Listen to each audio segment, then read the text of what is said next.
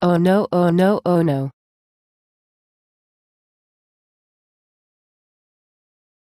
Penny, what's the matter?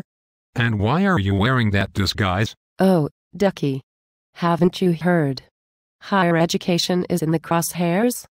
They'll be coming for us any minute. Whoa, slow down. It's true that universities are criticized these days. And we need to take that seriously, but I don't think hiding will help. But parents and taxpayers think we charge too much for tuition. If they won't pay, will I lose my job? And I hear that some critics don't even believe that our students learn much. How can anyone who has heard my time tested lecture possibly say that? Well, it's not just that. Some people think that the things we teach are just not useful. See? I told you it is time to panic. Why would someone pay SMU tuition when they could string together a bunch of free MOOCs and study at home in their pajamas? Wait. I have an idea. CTE is sponsoring a symposium called Higher Education in the Crosshairs.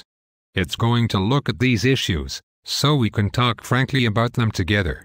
But I feel so helpless. What can we do about any of this? The symposium is also going to talk about ways in which excellent teaching can respond to the criticism. We have the power to do things that matter. But how will we know what we are achieving? And how can we prove it?